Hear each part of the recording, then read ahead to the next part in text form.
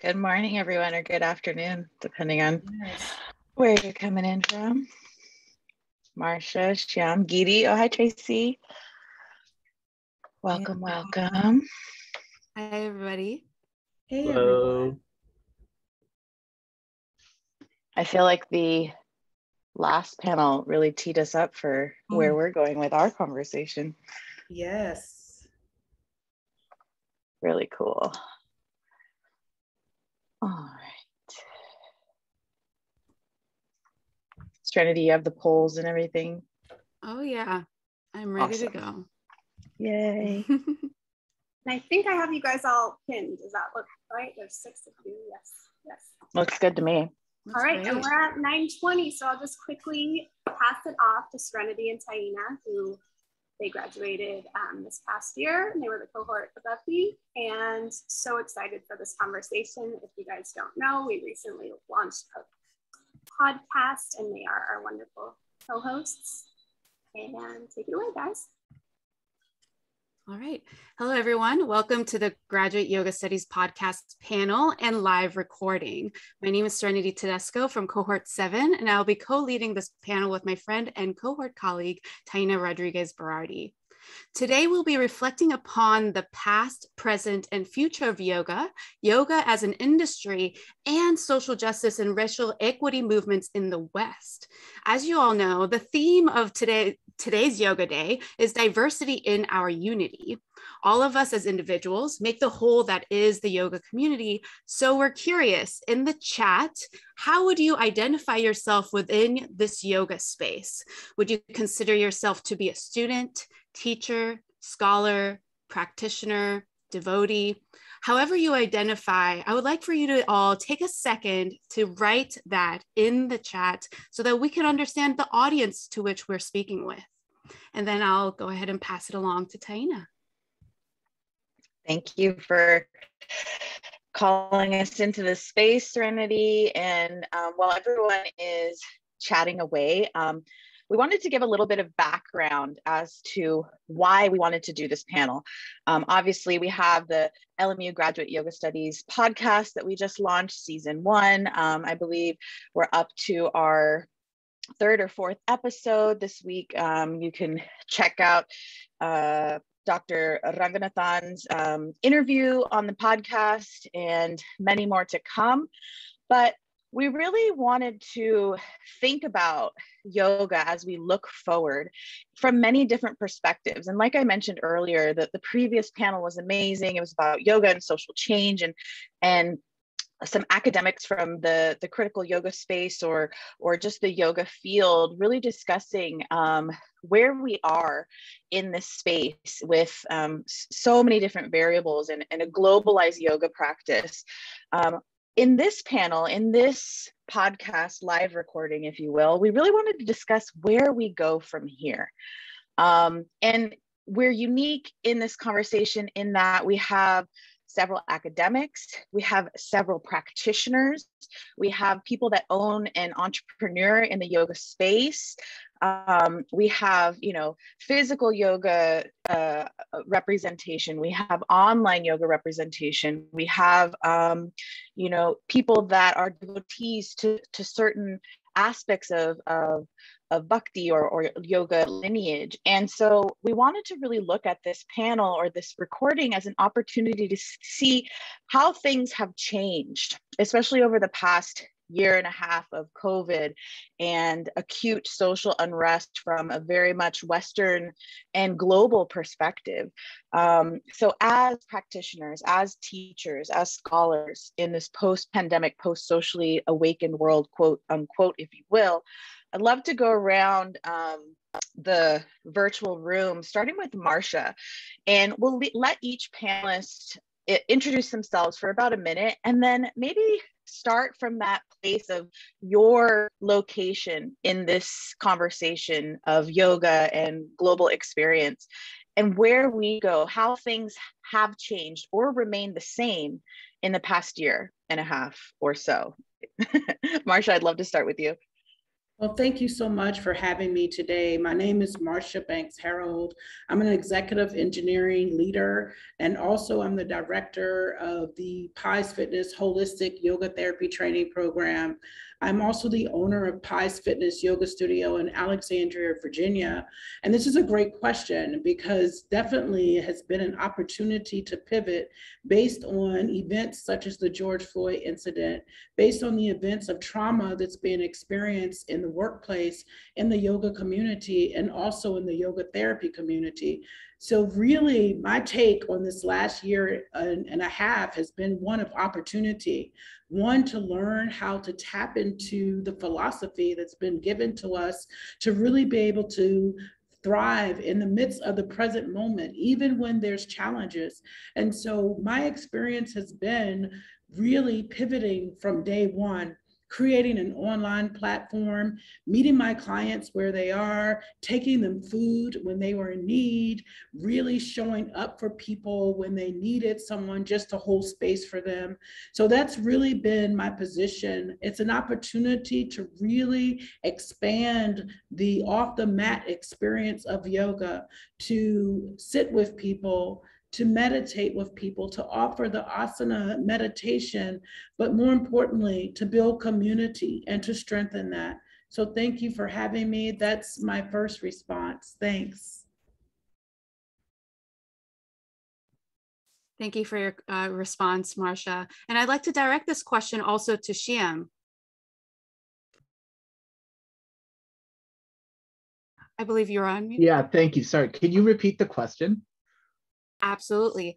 How have things changed or remained the same in the oh. past year for yoga practitioners and beyond? Okay, so I'm going to start with introducing myself. I'm Shyam Ranganathan. Uh, I am a member of the Department of Philosophy in York Center for Asian Research at, at York University in Toronto.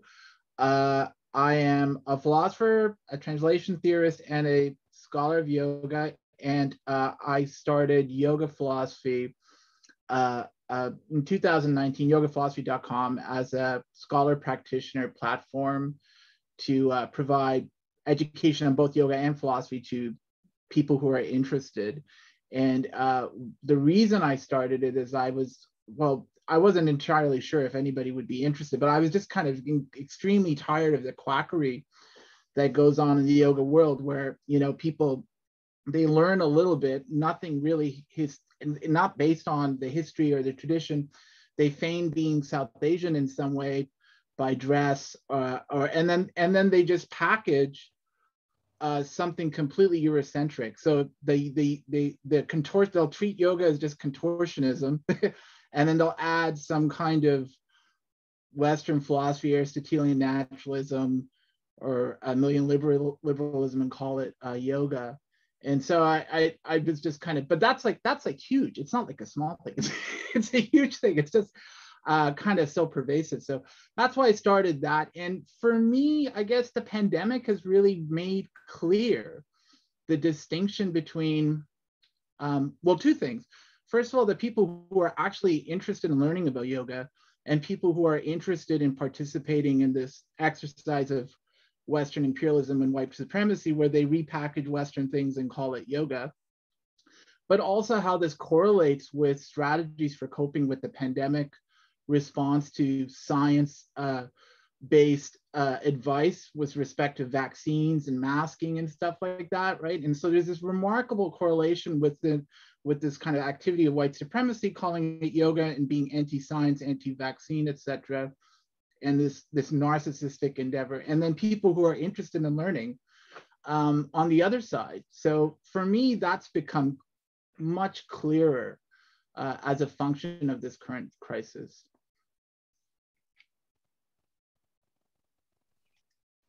Thank you. I think you bring up a lot of um, you know aspects of of of the past year and a half that we're now even just seeing come more and more to the forefront as we move forward into the future. and I, think that brings me to um, to ask Giri the same um, question. If you could introduce yourself and also think about or, or, or give us a, a, moment on how things have changed or, or remained the same in the past year for you from your perspective um, um in this place of yoga. Hello, everyone. My name is Giri Bai. Um, a little background on myself. I uh, am a cohort seven member of the Yoga Studies program. So uh, these are my fellow cohort members. Um, I, my religious background is through Kali Mandir in Laguna Beach. So I took Diksha initiation maybe three years ago into a Hindu lineage, loosely aso associated with the Juna Akhara um, through a small mandir in um, uh, Prayagraj called Yoga Vedanta Kutir. Um, so I have some background in teaching yoga asana as well in the yoga studio setting um, through Radha Yoga in Mid City, uh, which was a very diverse yoga studio. Uh, currently, I'm not teaching, and I think that reflects a lot of what's going on with uh, the changes in the yoga studio world and yoga studio culture. I think one of the big ones, obviously, is through the coronavirus pandemic. You see um, a movement of yoga asana studios towards um, digital content, which has been extremely challenging for me to connect in that way with other uh, yoga students um, coming from the platform of teaching in a personalized manner or um, really kind of wanting to give that individual the best sort of setting for their asana practice. It, it, I had found it very challenging to do so uh, through the internet. One, because of, you know, looking at their alignment or their posture, which is also very Western perspective through the camera was not not not too effective in my um, teaching style. So I, I, I struggled with teaching in that way. And then of course, I think the second most major and pivotal event of, of last year was the killing of George Floyd. And you saw a, a massive social justice movement, which, you know, took me out onto the streets um, for, for a large portion of the year. So much of the practice of last year was off the mat and off the cushion, um, and outside in a way that didn't didn't necessarily feel like the yoga of before, which was very um, the Good Vibes Only tribe or a Love and Light crew. Um, this changed dramatically because yoga had become about more like that scene from Bhagavad Gita where Arjun feels the fear of going into battle and having to, you know, kill entire sections of his family, and Krishna says that he has to go and do it. Um, I remember, you know, sitting in front of lines of police and doing my japa and uh, chanting on my mala just in this similar way. So I think yoga was moved from a very cushion centric, uh, mat centric yoga studio, um, sort of neoliberal yoga studio world out into the streets and exposed to all sorts of like leftist ideologies and paradigms. Um, and unfortunately, I think the way neoliberal regimes often respond to uh, issues of race and gender is through performative identity politics. So you see a lot of that being implemented in yoga studios today, identity politics in a very performative way. So I'm hoping that can shift into identity politics that are actually meaningful to the individual. It's not that identity politics are wrong, it's just the way they're being deployed in a performative fashion. I want all individuals to use their identity to empower themselves, particularly in a yoga practice where you're you're seeking the internal self, and maybe through some analysis that requires us to look at tantra, we can integrate the body into our sort of spiritual practice um, that doesn't negate the body fully. Um, so we can kind of look at how our identity um, coerces with the physical body and through our yogasana practice, we can integrate those two, the, the sort of more spiritual self or, or mental self with the physical self in a lot of ways. But I think, unfortunately, to problematize it a little bit before we go into any solutioning space, you do see sort of like not much of a change in the hierarchical yoga studio model where you have essentially a, a yoga studio owner or a yoga teacher that is like a CEO and guru at the same time, which leads to a very um, uh, hierarchical relationship between the main yoga teacher, this so-called master teacher in this yogasana tradition, and the students that are sort of like subservient, even even so much so that they're doing work studies that don't have pay you know? So it's like this exploitation of labor from a marxist perspective very clearly on display. Um, so hopefully we can look at some ways to solve those sort of like performative identity politics and those issues around you know you seem to have some issues around class gender and race in the yoga studio model currently that aren't or that are sort of being solved in very performative ways right now in my opinion at least Thank you, Katie. I really appreciate what you're sharing, and you're bringing up a lot of really subtle points that I hope that we can discuss more in the future. I do think it's really interesting that the Love and Light crew has re-identified themselves to be more of a, a social activist, fierce um, group of people that are engaging with society and with capitalism. I'd like to direct the question to Tracy. Hi, everyone. Um, so I'm Tracy Tiemeier. I'm an associate professor of theological studies at LMU. So I work in theological studies. I'm a comparative theologian. And I also teach in the yoga studies program here, as well as women's and gender studies. And I'm the director of the peace and justice studies program at LMU. And uh, Giri really touched on a big piece of what I wanted to say at the outset, which is that um, we're not in a post COVID, post socially awakened world. And in many ways, everything has changed, or it seems like everything has changed, but in reality, nothing has changed at all. And um, this was really heightened for me. I really saw this uh, when LMU went back to classes in person. And I've been talking with my students and um, thinking that, oh, we're finally in person. We're going to be able to connect in real life.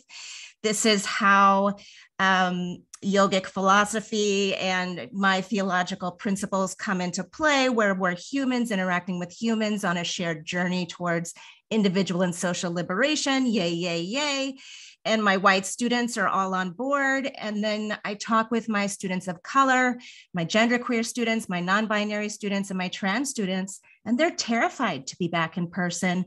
For them, the chance to learn online made them realize how much of their life is ter- low grade terror, like constant, um, a constant experience of being in a space that is not for them and constantly reminded that private spaces and public spaces are constructed to be white, heteronormative, cisgender spaces.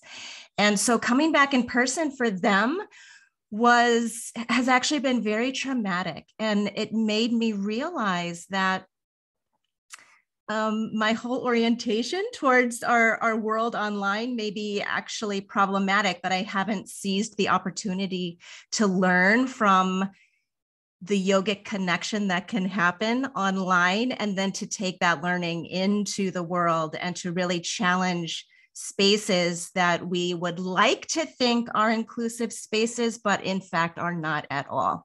So I think I'll stop there so we can start a broader conversation. But I think uh, everybody has really hit on some really key points. Thank you, Dr. Tiemeier, for your response. I think all of us really have a unique perspective in, uh, in, analyzing and observing the changes that have taken in the past year or the non-changes that have happened, as you aptly pointed out. Change is happening, but for whom is it happening for? Um, I think that is the big question. And speaking of questions, we do have a poll for all of you to participate in. And it's very much related to the points that our panelists have made throughout this first response. If all of you can answer these questions on your own, I would be, we would use these answers as a part of our reflections in the panel. Um, very quickly, I'll just read a little bit. For more than a year, our global society has experienced the coronavirus pandemic and etc. Do you believe the yoga industry has been genuine or performative in its efforts? Second question, do you think that the yoga industry acknowledged the context of our times? Does it really? And lastly, does the yoga industry serve our needs within this context, as Marcia pointed? Are we pivoting or are we doing the same things? If you can take just a moment or two to answer this question, we'll proceed with our next question in the meantime. Um, as much of what the panelists have discussed have been about social change, social justice, and in, even the inclusion of capitalism and what that if how that affects the yoga industry and the yoga studio spaces. Um, and within this kind of discourse, there's been a call for many different changes or possibilities to move forward. Uh, one has been to completely reimagine the system and destruct it all, start from a completely new place. Others believe that there's a room for fixing. We can modify, we can pivot. And then others say that there's absolutely nothing wrong going on. What, how, what does social justice and how does social justice and capitalism coexist in modern yoga industry? Can they effectively coexist in the modern yoga industry? I'm curious about your thoughts, Katie, especially with your last comments. Yeah, well, so I think I would back up a little bit and say, I think essentially there was a critique of capitalism by Marx that like the internal inconsistencies in, in capitalism would lead to its decline. That didn't happen. So Marx's predictions about revolutions sweeping through Europe didn't actually occur. So we think about well, what did capitalism do to save itself? Well, you, you look at it and, and it globalized. So it pushed sort of the exploitation, the domination, and the alienation of the worker onto the, the global south. So we're we're moving it from domestically oppressing workers locally, which is still happening, but pushing it over to other countries. So you have sort of this one way of capitalism saving itself.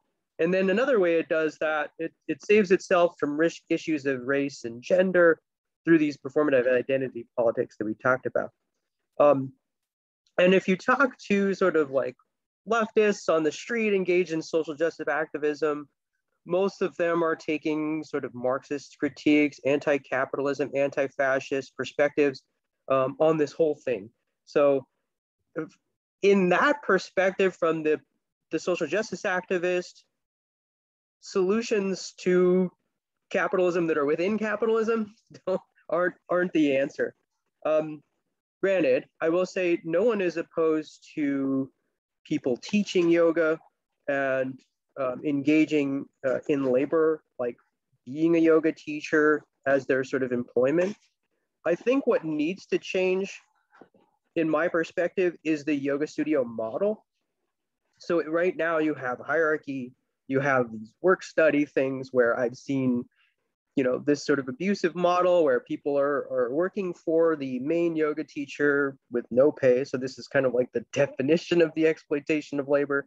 I think you see alienation in what the yoga teacher has to teach and a disconnection that they have from the final sort of like spiritual aspiration of the practice that they're teaching. They're they're having to teach only vinyasa flow because this is profitable to the yoga studio. So in the Marxist critique, it's the person who makes the pin is disconnected from the watch. So in a in a in a lot of ways, the yoga teacher is disconnected from the the goal of yoga, or perhaps the Ashtanga yoga, the Patanjali Yoga Shastra, and the eight limbs. They're kind of focusing on the one little limb, the asana, just like the pin maker who who is disconnected from the watch, the yoga teacher is disconnected from the Ashtanga system because they're just having to focus on asana. And then a very particularly small part of asana, vinyasa flow.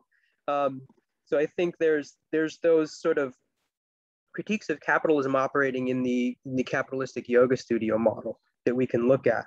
And perhaps solutions to that are looking at different models. We're not going to overthrow capitalism right now. um, but we do have yoga studios and, and students that need to learn yoga and these are yoga and getting into the body is very helpful for the traumas that everyone is experiencing in the world right now um, and finding those traumas inside the body. So in my in my opinion if we look at yoga teacher co-op owned models sort of socializing or democratizing the yoga studio uh, ownership model um, both financially and in terms of leadership in the yoga studio. You can look at a more socialized, democratized um, setting in a yoga studio that that doesn't just performatively apply identity, deploy identity politics, but actually implements these these identities in a, in a meaningful way, in a in an intersectional sort of leadership style. Um, so I think I think there has to be some change uh, to the industry as we know it to sort of align with more of a, a new politic that's emerging. Thank you, Giri. I think you big, uh, bring up a, a big um, challenge to our current times in that our Western, specifically gaze, is very much focused on the um, the studio model and um, and you know that functioning as our de facto representation of what yoga is today. And you know which is interesting because in our panel uh, or i'm sorry in our poll uh, 73% of people who answered in our poll about two minutes ago um, felt that the yoga industry has been performative in its um, involvings or or reflection upon or reactions to coronavirus pandemic, but also the racism and police brutality that um, you know many of our brothers, sisters, and siblings are all protesting against because it reflects such a larger um, piece of the uh, Western colonial American culture. Um, so, Marcia, I want to come to you and ask, especially because Giri brings up this the studio and this model. And I also, you are a leader in yoga therapy. And that brings into, for me, the Western model of medicine and healthcare. So I'd love your perspective on how, you know, social justice or social change and capitalism can exist together? Can they coexist, or is that just a non-starter? Um, I would love your perspective. Sure. Well, thank you. That's that's a really a great question. Um, as a studio owner um, and as a part of these marginalized communities, being a Black woman, I've always modeled my yoga studio ownership based on an inclusive environment. So that means that people from special needs communities, the aging population, um, people based on gender choice or sexual preferences, it's it's always been a brave space since I opened in 2010. So I, I understand why the model um, that we're talking about seems a little bit not really purposeful because it is the majority of the model, but there's several businesses like my own where we represent the totality of what yoga really is, and that's community. And so my my real thought process here as a yoga therapist and as a trauma sensitive yoga facilitator is this. If we create authentic authentic spaces authentic people will show up with their trauma and they'll feel that it's not performative it's real it's welcoming it's inviting it's inclusive. And so the answer is that I would propose this. We have to come together as a yoga community, a yoga therapy community, to create and hold up spaces that are authentic, and then simultaneously create educational opportunities so that we can uplift those communities that are not sure what to do. A lot of people are choosing to be performative because they're not really being given the model of doing the self study. That's what the sutras say anyway. Do the self study so that you can figure out who you're supposed to be serving and create spaces where people are really valued, seen, and heard. So, my answer is that it's challenging. You know, my colleague is right. If you offer a vinyasa, a power flow, a hot yoga, um, those classes are packed um, because that's where society is right now. But if we amplify the value of lifestyle changes, if we amplify the value of social justice, making sure people want to show up however they are, regardless of body size, regardless of color, race, gender preferences, if we truly do that and come across the yoga mat and not be judgmental of our fellow beings in this world, then people will look and seek out spaces that are inclusive, that really will allow us to impact capitalism, capitalism. Because if we support these spaces and these values then people will put their money where their mouth is and basically show up and support these spaces. And people won't have to only go to places where the western mindset is the primary choice. Finally i'll leave with this point if people want to come to vinyasa, that's awesome. That's where I started. I came in as a hot yogi. I was an engineer running 10 miles a day, doing kickboxing, and I thought, who has time to be peaceful? I just want to raise, you know, my heartbeat. But guess what? Yoga works. And if we believe that and we even promote vinyasa classes, people like me will show up and our lives will be transformed because that's what happened. I found peace on my yoga mat, peace that I had never experienced anywhere else. And that led me to create my yoga space, whether virtual or in person. People's lives are being transformed. And that's really the goal and purpose of yoga. So the answer is yes, but we have to look at where we're coming from. It's a place of healing. That's what we're looking for. That was very beautifully stated, Marcia. Thank you for this deeply inspiring speech. It really gave me a bit of zhuzh here. Um, and it made me think of how change begins. We often talk about change beginning from the people themselves or change becoming starting from the organizations or from the top down. And from what I'm hearing and what you're suggesting is that yoga can be a place where all parties involved can be a part of that change. And the question of course, that we'll ask next would be how. Um, but in the meantime, while we're still marinating on these concepts, Tracy, I'm really curious about your perspective, especially as an academic and for my student perspective as well. Well, this question is perhaps the toughest question for me because I am employed at a institution that is completely steeped in, you know, American capitalism, and I get a salary and health benefits. And um, so, Giri's point about can you change the system from within is my question, right? Um, I am not even though I have power as a tenured professor, that power comes from neoliberal, you know, academics, you know, and higher education.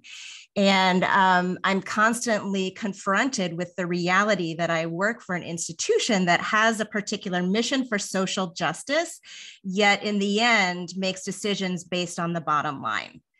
Um, and it's this constant question about whether you can change the the system from within because I could not live in Los Angeles without my job. I could not have my family um, go to school and eat and have health care without the job that I have. And so um, you really hit me precisely where it hurts because um, what does even any kind of educational context or practical context look like when you're standing from within and you have such critiques of that system and yet your livelihood depends on that system? And so i what i would say is that i um, go through periods where I agree with Giri that you can't change the system from within, but something that um, keeps me getting out of bed in the morning is my is the students and the people you know precisely who we're meeting with every day who come to you also entrenched in the system and they know something is wrong with their bodies with their selves with society and they're looking for something and maybe they come into your class not knowing what that is you know maybe maybe they do want to lose weight or get stronger or you know they have intentions that we might um, say oh well that's not the you know the, the appropriate intention or someone sometimes students will come to me um, and they'll say well i really want to get X, Y, or Z job, or I really want to do this particular thing. And I'm mentoring a student of color, and am I supposed to say, no, don't, you don't have a right to that job. You don't have a right to to access in the society? Or do I try to work with them to stake their own claim in this world and try to change it with from within? And so I would simply say that as much as I think the system needs to change, we are a part of it, whether we like it or not.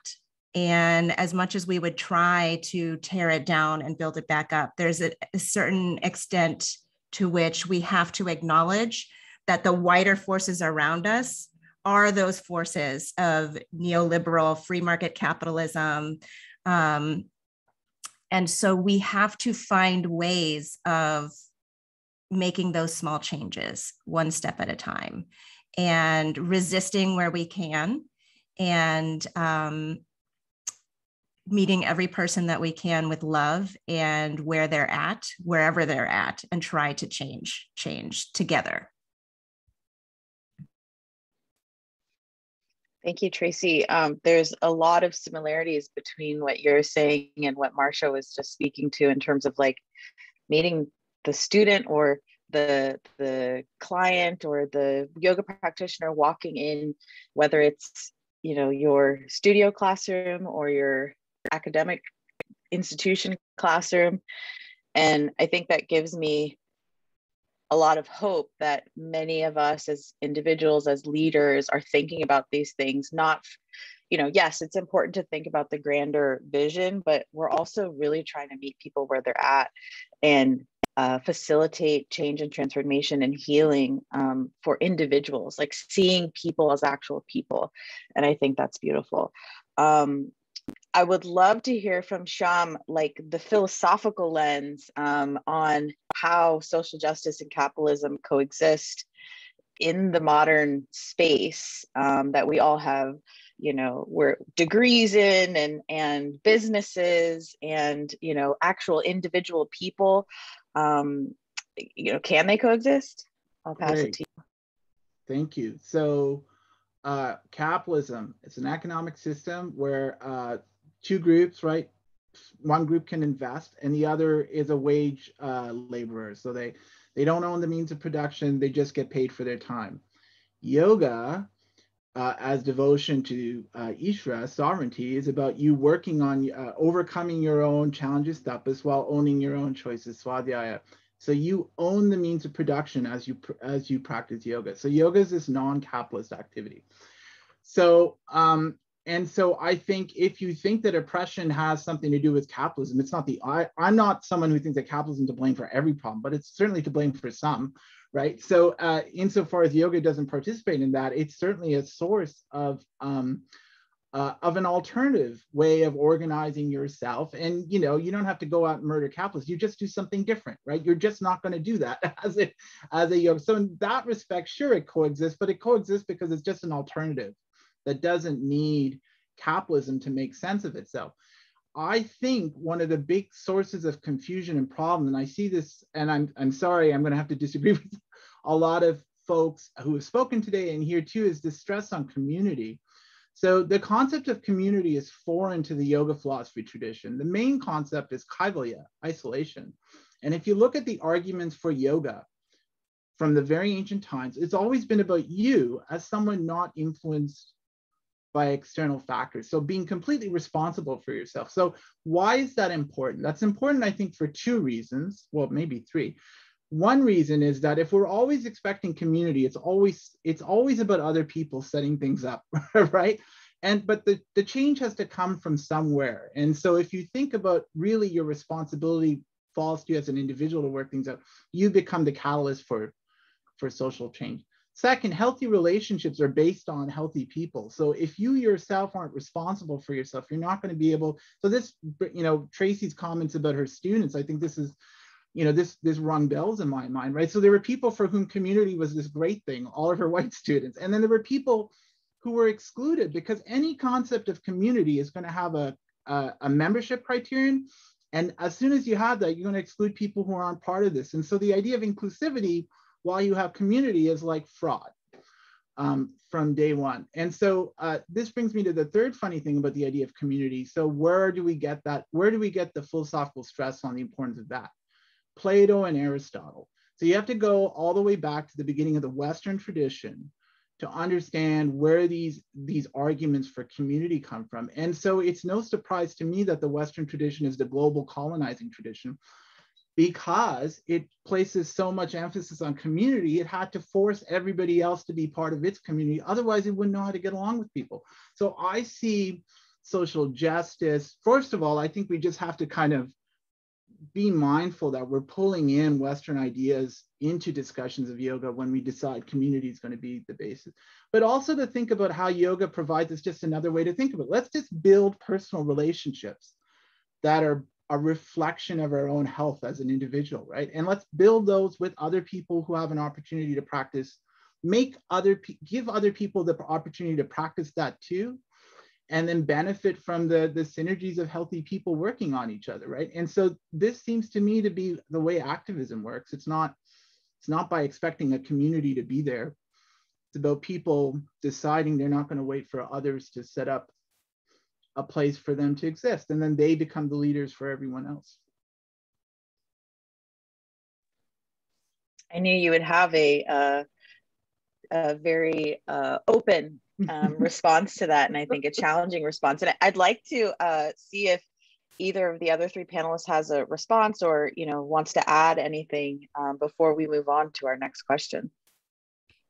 Yeah, um, I, I think that we're actually on the same page because if you do your self study and you've really identified who you are and you happen to show up in inclusive spaces where other people have done their work, then you're together. And that that therein lies the sense of community because everyone is welcomed you know it's not an exclusive community. Yes i agree that there are thousands of places out there in this world that truly do not invite everyone in. But i think the yogic world has the opportunity to be the leader to say, no, every being is welcomed. Since I've been teaching online, cats show up, dogs show up in yoga, right? Because they're like, this is cool. Who is that lady that keeps showing up and making me want my own yoga mat so that I can be a part of it? So, yes, I agree a thousand percent. A lot of communities have been exclusive, but the community that I think, at least that's what I received when I came into yoga. It was a welcoming, inviting place um, that I had to create, by the way, because it didn't exist originally, but I created the space. Um, I was fortunate because my teacher, um, she was a spiritual leader and she's now a minister. And so her thought process is come as you are. And that's what propelled me to be in this place of really working through this capitalism piece. And, and finally, we have the opportunity, I think, as a yogic community to have a greater impact on capitalism. And I'm talking about buying properties. Um, there's so many people. I lost the yoga studio during the pandemic, a physical building. But now this is an opportunity for growth to really take advantage of this time to buy property so that people can continue to do the work that's so needed, especially in times when people are impacted physically, intellectually, emotionally, and spiritually. If I may quickly say something too, um, Shyam, I, I really appreciate your critique, and it kind of reminds me of the study of of 911 calls when something wrong was happening, when they did a survey, most people thought that someone else would call the issue into the police. So, can we take responsibility to call to create community for ourselves in our sovereignty, simultaneously creating community so that other people can join it? To me, it seems like a two part simultaneous process. And Tracy, do you have, would you like to add something? Well, I was just going to say that I would agree that the way in which we deploy the term community today is very influenced by, you know, Western thought. But I also think that if we look at um, Vedic religion and tradition, that the ritual context of Vedic culture, you know, which was originating, you know, developing these terms of yoga, was using these terms of yoga in a broader sense of ritual community and um, so I think this, and it made me reflect on the theme of the conference diversity and, and unity, and how there is a way of thinking about diversity and unity together and tying that with community that I think is very um, true to yogic traditions, plural, if we're thinking in the ways in which yoga developed in plural ways across time that does see the connection between individuals um, and whether you are thinking about it in terms of you know an advaita notion or whether it's a vishishtadvaita where there is a plurality uh, you know along with that um, unity, I think we can think of these things not as opposed, as individual and community as opposed, but together. And yes, we maybe want to resist or embrace certain aspects of Western notions of community, but I wouldn't necessarily say that they are at odds. That um, that we can think about. It, it made sorry, it made me think. This is going to be a terrible analogy, but it made me think of you know uh, the ways in which i've had yoga teachers talk about how well if the plane is going down you have to put the mask on yourself first before you put the mask you know on your on your child's face. Um, so, yes, the plane is going down and we have to attend to ourselves, but that sort of naturally leads us into the other and along with the other. And that we want to be thinking about these as something that's not at odds even if there are tensions and maybe even contradictions, but we can work through them in, I think, um, a, a, rich way.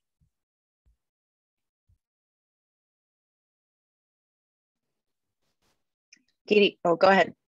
If all community means is social relations, sure, right? But I think that's that was the the the, the philosophical point I was raising. Sure, we can have relationships as individuals.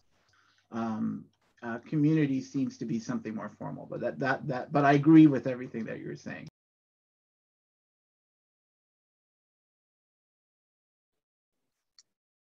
And Giri, I saw in the chat you uh, wrote uh, satsanga and sadhusanga. Do you want to extrapolate? Yeah, sure. I think probably in classical yoga, yeah, there's definitely, I don't think there's an influence of community in classical yoga. And as you see, there's there's no extant lineage from Patanjali to today. So we don't actually have a classical yoga community descended from Patanjali. But I think in the devotional culture, you have this idea of satsangu, satsanga or sadhu sangha, where there's a verse um, in some of the devotional liter- literature, sadhu sangha, sadhu sangha, sadhava shashtakaya, labhamatra sadhu sangha, sadhava siddhihai. So this is the idea that through the association of other devotees, all the shastras or the scriptures are revealed. So yeah, perhaps we're getting a lot of community through uh, ideas about community through the kind of the mashup of different yoga yoga cultures and coming together through through the history of yoga being transformed in the Indian subcontinent and exported, you know, to the United States. So maybe perhaps in the classical Yoga Sutra, you have like a lot of the the, the concepts of kaivalya and uh, that that aloneness of purusha and prakriti, and also sort of the pratyahara of like being in an isolated setting, like in your Hatha Yoga scriptures, you're talking about.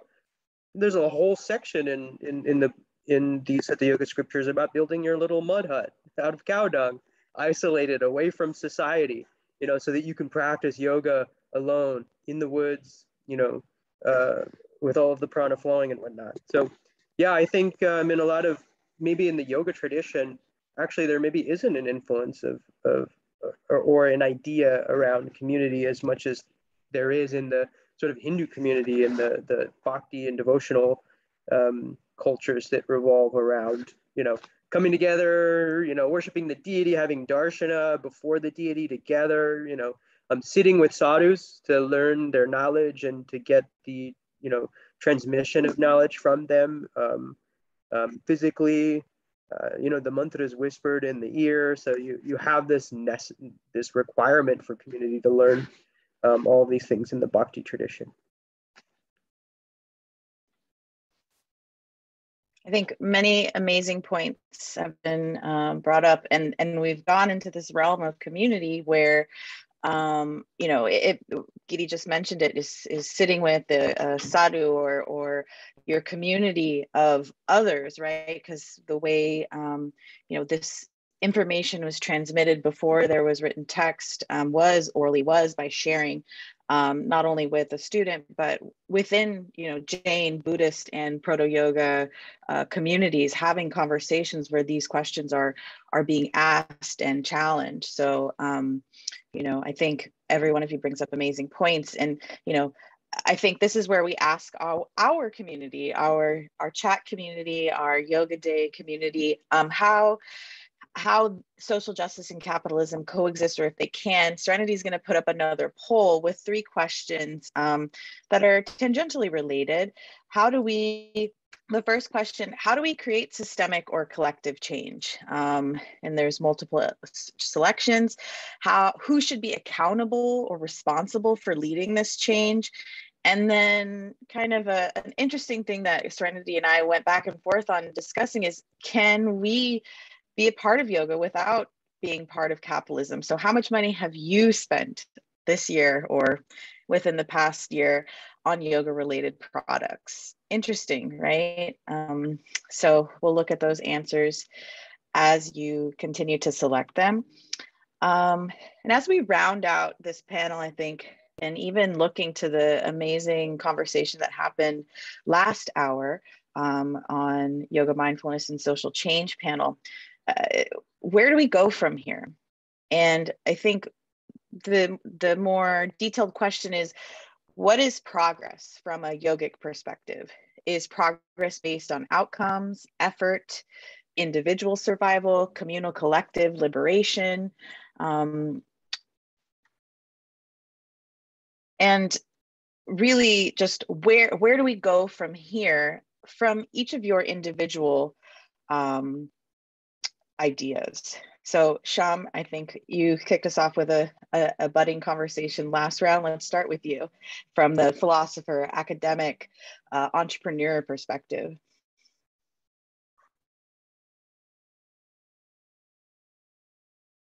Sorry. okay, so uh, with respect to money and business, I think one of the things and I think this is one of the things that uh, you get you you stand to gain by by studying the history of philosophy is that you can you can you can source where some of these criticisms of say financial success or material success come from. And i think they're completely alien to the yoga tradition. Um, eh, so i mean there's just a lot of passages even in the yoga sutra where are about thriving and success and uh, and sutras that have to do with prosperity.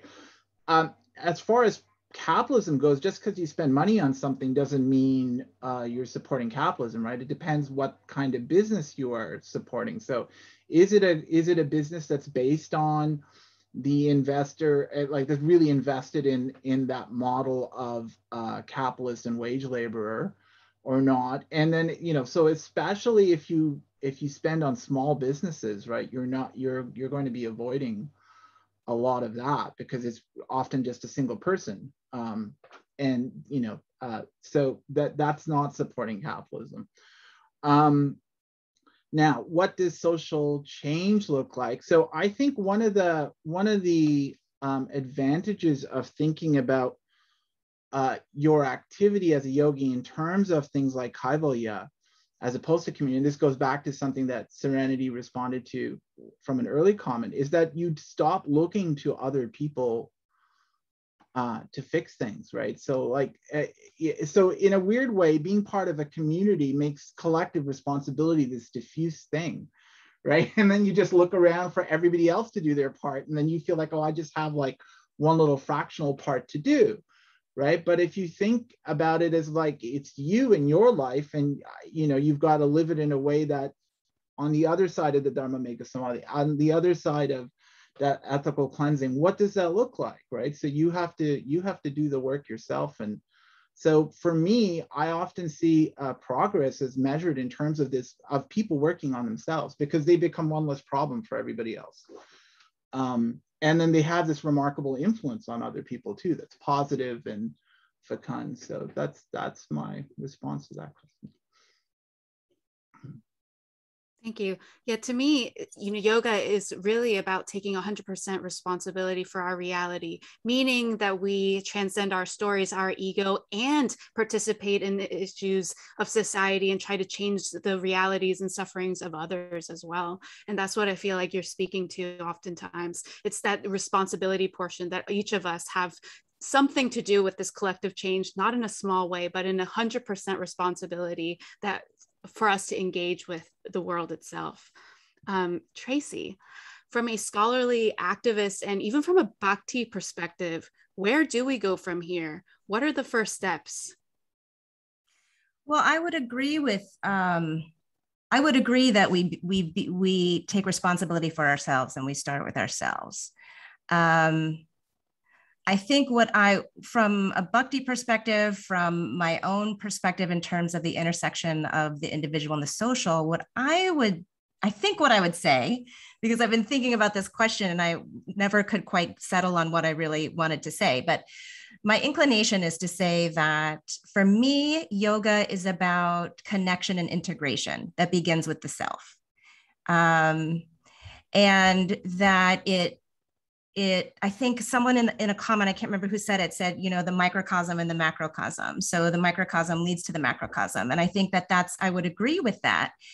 And i would also say that progress looks like um, that the problem isn't us thinking about progress. The problem is when we stop thinking about progress. In other words that for me it's sort of an, a never ending process so, yoga is a process of connection and integration.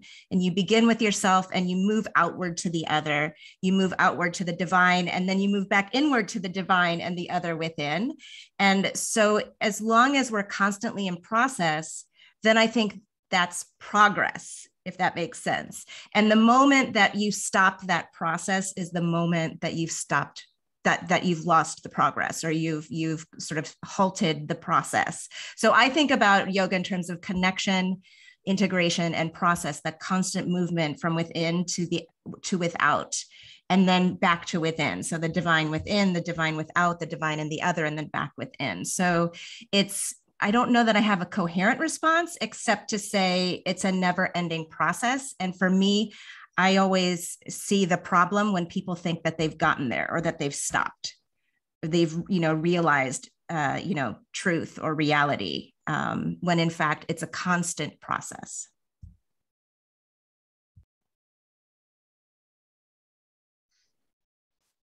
Thank you, Tracy.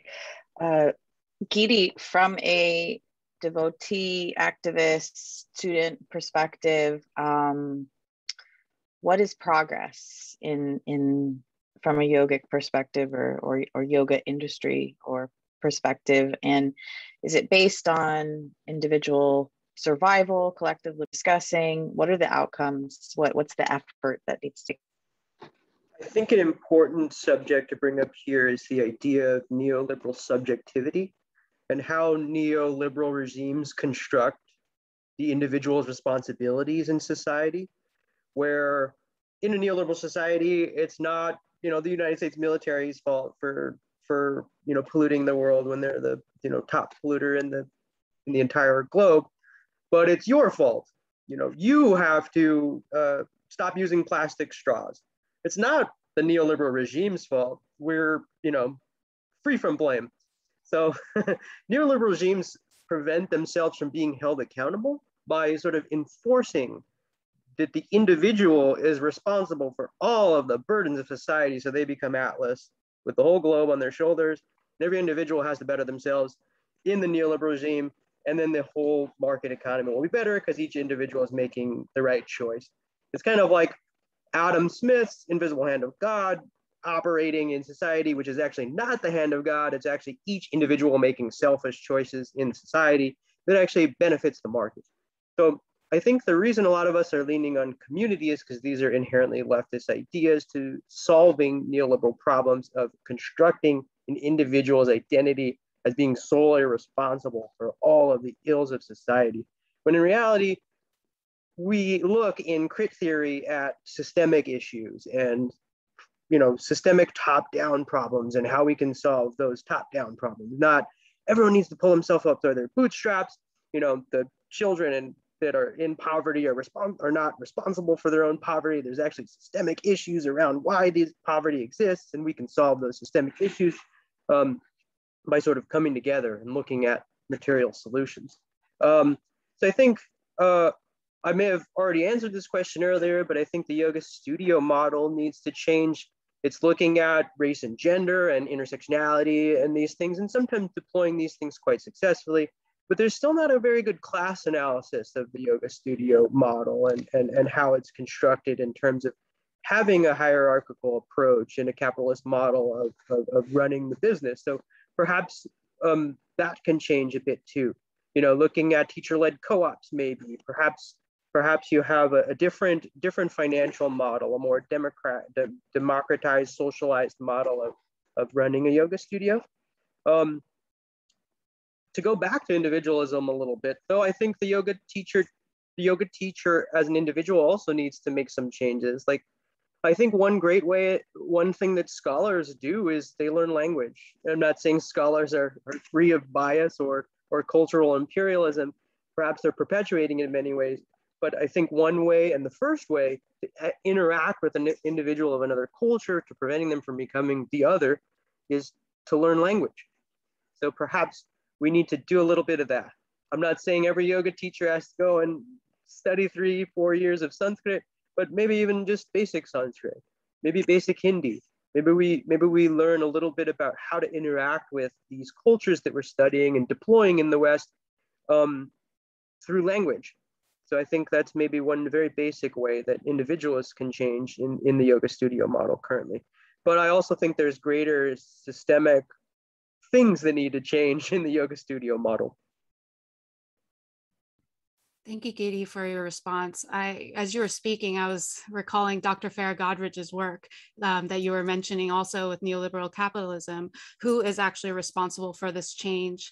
And is it up to yoga to transcend the issues, or is it yoga to call out the issues within ourselves as individuals and within the greater systems at large? And then what do we do with that? The big question that keeps coming to my mind is how how do we get this change to start? Even if we can point fingers, okay, yes, the system is the problem, I am the problem, but how do we make this happen? And I'm curious to hear, Marcia, from your perspective, being both a practitioner and a business owner, what do you think are the next steps? In our podcast interview previously, you mentioned a few ideas that I would love to hear from you again. Sure, thank you. Um, definitely, it's this opportunity to do uh, collective work. And um, that collective work is based on first our individual self-study. So that's the first step is really to hone in on spending time with ourselves individually so that we know ourselves well. Um, the second step is to build relationships, like literally to come together and to sit with people that we may not agree with, people that we may not have grown up with or even, you know, gone to the same university with, to really take the time to listen and really build relationships with others. So this is internal, external. And then the other piece is really tapping into a place of resiliency. And resiliency is recognizing that there are going to be setbacks, but we have this yogic philosophy to allow us to bounce back in order to continue on this journey because it's so empowering for the individual and the collective. And finally, this sense of compassionate action. Compassionate action is that when we really hold space for ourselves and for those around us. And so I think when we look at that framework in combination with the intersectionality of meeting people where they are, accepting them for who they are and where they are, and then the final piece of just really showing up and coming together to be able to really tear down some of the concepts that are not very positive for all beings. So I'm talking about uplifting our animal friends, the environment, the trees, and looking at making sure that people from all walks of life have access to education, having access to capitalism so that they don't have to be in this power dynamic that has come up a lot. So if we can really empower every being to make sure that they have access to what they need in order to show up in this world, then I think the yogic community can be the leader that we are and really model what it looks like to show the intersectionality of social change and also this ability to use capitalism from a positive perspective. So those are some of my thoughts. I have a lot more, but thank you all for allowing us to show up today to have this great conversation about individual and community, collective and also one-on-one work. It's all valuable. That's what yoga teaches us, honor all perspectives. And that's how we move forward. It's a continuum of progress. That was very beautifully stated. And thank you for closing us out in this wonderful way. Um, I would like to open up the questions for our audience. If you have any questions for our panelists, as Taina mentioned in the chat, please write them um, in the chat for us to call out. But in the meantime, let's reflect on this poll and the responses that we've seen from it. The first question that we have is how do we create systemic and collective change? As we see here, we have about a 50 50 destroy the system, fix the system on the one end, and then transcend the system on the other, just a little bit more than the opposite side. But one thing that I'm seeing in this poll that we all agree with is that we cannot maintain the system. Everything is not great. And we all are very much aware of that. And that's great to know. Second question, I see that who is accountable? Who is responsible for leading the systemic change? I see 82% of us said individuals, which some of our panelists have some rebuttals for, I'm sure, especially with consideration of neoliberal capitalism. But it is encouraging to know that if we are individually responsible, that there that we are taking that responsibility, hopefully. Last question, how much money have you spent on yoga related products? That's a big one, calling us all out. I see only 21% of us have spent $0, but the rest of us, we are participating, aren't we? uh, we have a question here from Francesca, um, or a comment. Uh, to reference another model, the 12 step model does a lot for what's being discussed here in terms of individual and society. So that's another interesting perspective looking at the 12 step model.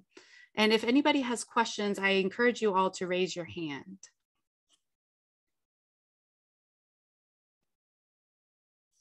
Or if you'd like to answer any of the questions that we proposed to our panelists, we're also open to that as well. I think RJ Fox uh, brings up a, a, really valid and also um, interesting point in that yes we did force the answers to the poll. We really i mean this can be a really divisive topic as you see. Um, not that our panelists are you know um, i think because of the diverse backgrounds and the emphasis in each and every individual's path and um, focus of their career or area of study each one has a unique perspective that i think is valuable to bring to the table and to um, allow us to exchange ideas and really reflect upon maybe things that we haven't thought about. And I think that is first and foremost what Serenity and I came to uh, create the uh, Loyola Marymount uh, Graduate Yoga Studies podcast was to really bring diverse voices in. We didn't want solely academics or solely, um, um, you know, this or that type of person. We wanted a diversity of voices, and and this panel really reflects that um, because that is how we learn. That is how we uh, pull down this veil of ignorance. That's how we become discerning practitioners is, is listening and acknowledging and, and creating that knowledge within ourselves, not only of our own, you know, specific path with blinders on, but really listening to others and, and taking that in wholeheartedly. Um, I think we have one other question who should lead this change? Force the vote on selecting an isolated element. Oh, yes. Um, yeah, I think it, it, Serenity and I went back and forth about these polls of just like, you know, it, should not the answer be all of the above, right? Um, and I think it's interesting to have to choose who, if we have to make a hierarchy, as we most often do in life, right? Um, it's it's very much um, should be all of us, but are all of us taking an equal percentage or brunt of the the effort or the the blame?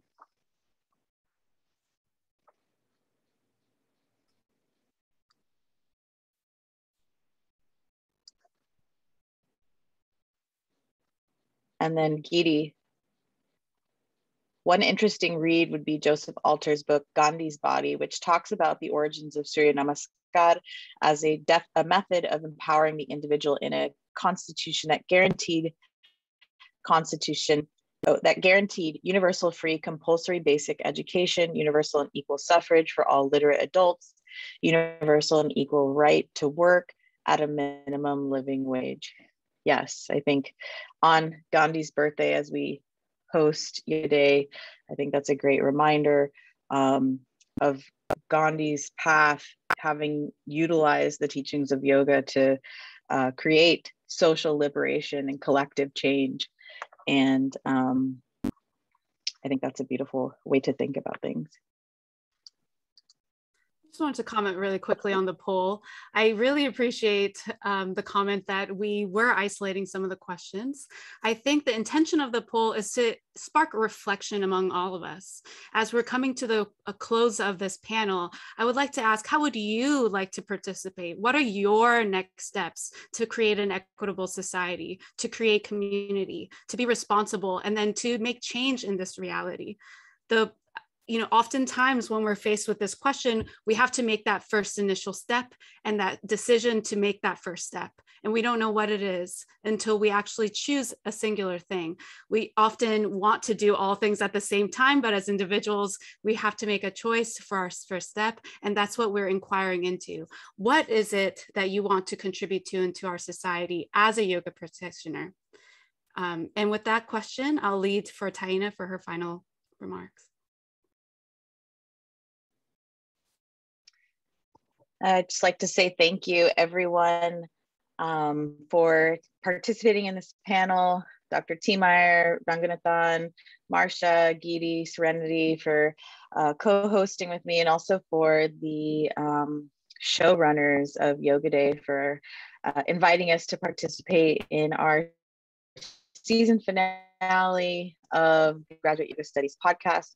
I think this was a really interesting conversation. I personally even though I've spoken to each and every one of you, it seems like numerous times, um, I always learn something from um, your wisdom. And I'm truly grateful to be in community um, as an individual with you all. And I, I really respect the, the diverse um, viewpoints that you bring. And I think that is really the beauty in these conversations is hearing each other respectfully and um, you know respectfully disagreeing and agreeing and um, learning as a community. Uh, I think that this is a wonderful space and um, I'm truly grateful. Yes, as Tracy said, process is progress. Thank you all for joining this podcast panel, and I look forward to communicating with you all in the future.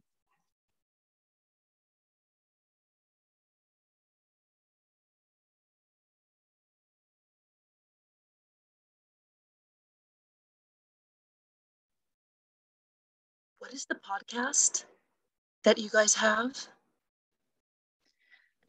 Uh, the podcast is called uh, LMU Graduate Yoga Studies Podcast. This is the first season. Um, it's available on the Yoga Studies website. We'll link okay. it right now so that you have access to it. Thank you. Um, we're in the middle of releasing content for the first season, so you can catch right up and these these panelists today represent um, uh, some of the interviews that we've done on the podcast this season. Wonderful. Thank you so much. No problem.